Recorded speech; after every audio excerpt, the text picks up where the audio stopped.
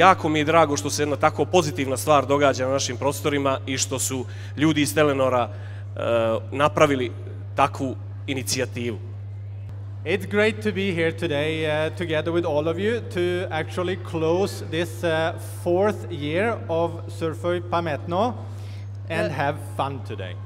E, Zaista je divno biti sa vama ovdje danas, da obilježimo e, četvrtu godinu inicijative Surfur pametno i da se zajedno zabavimo. Ministarstvo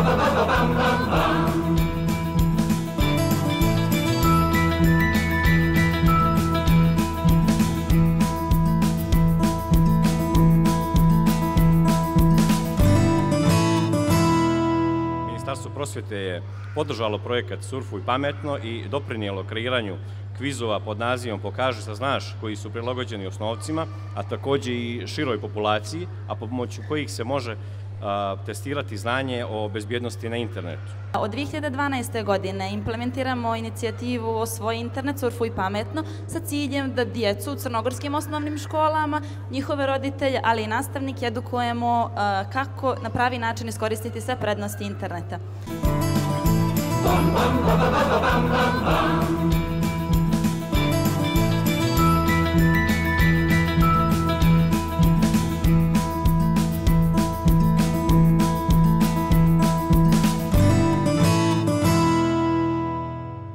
Postoji jedna jako, jako lijepa rečenica koja kaže društvene mreže, sve ovo, Facebook, Twitter, Instagram i tako dalje, su gubljenje vremena ako ih koristite da gubite vrijeme.